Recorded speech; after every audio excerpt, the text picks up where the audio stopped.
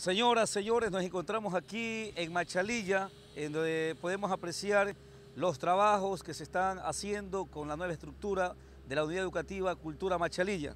Aquí está el, el presidente del Comité País Central del Colegio Cultura Machalilla. Cuéntenos, ¿qué es lo que usted está haciendo un recorrido por la edificación de esta estructura?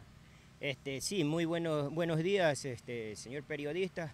Me encuentro por aquí dando la vuelta inspeccionando y viendo cómo va, va, esta obra para que las cosas marchen bien y ayudar a, a la comunidad para que esto quede, quede bien.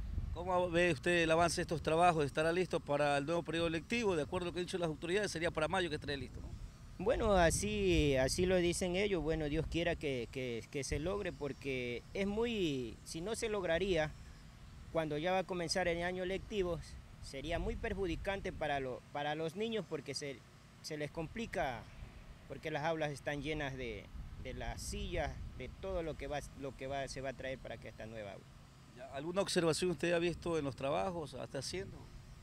Bueno, sí, este, en, dentro de media hora nos vamos a reunir con el comité, con los representantes de aquí el colegio y por eso mismo yo ando dando, inspeccionando, viendo cualquier error, cualquier falla para hablar con el ingeniero para que las, corcha, las cosas marchen bien.